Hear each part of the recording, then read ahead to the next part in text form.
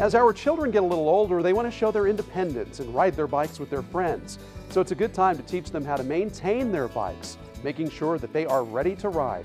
It's a good habit to instill at an early age, and it gives us parents the peace of mind knowing that our children are safe.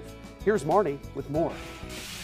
As my children get older, they're growing more independent. And with that independence means responsibility. So I thought it would be a good opportunity to teach them how to take care and maintain their own bikes. And Tom, thanks for joining us. You're going to take me through the process, right? Yeah, that's right. Uh, it is unsafe for kids to ride a bike that uh, hasn't been properly maintained. So it's good to know what to look for and what, what to do when you find it. It's best to help your children early on when they're younger to find and identify these things.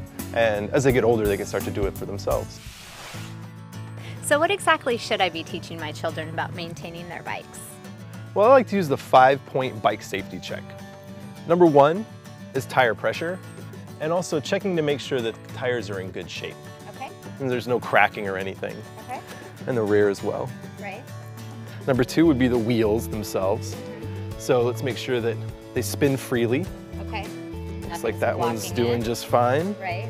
This one here mm -hmm. as well. Okay. If your bike has quick releases, make sure that they're secured. Number three would be the brakes. Okay. Make sure that they're not too stiff or too soft. Okay. Okay. And that they are reacting well. Sure. Okay. Number four would be your seat. Okay. Also check your quick release to make sure that it's secure. Okay. And the handlebars. Hold the front wheel between your knees and just give them a little bit of a twist. Make sure the handlebars don't turn or are too loose.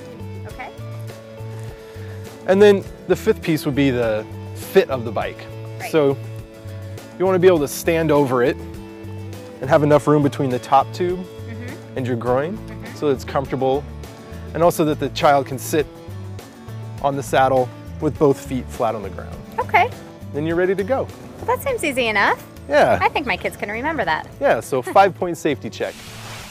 So remember, Marnie, even though we can teach our kids to do the bike safety check with us, it's our responsibility to make sure that the bike is secure and safe to ride. Right, and that's really great information.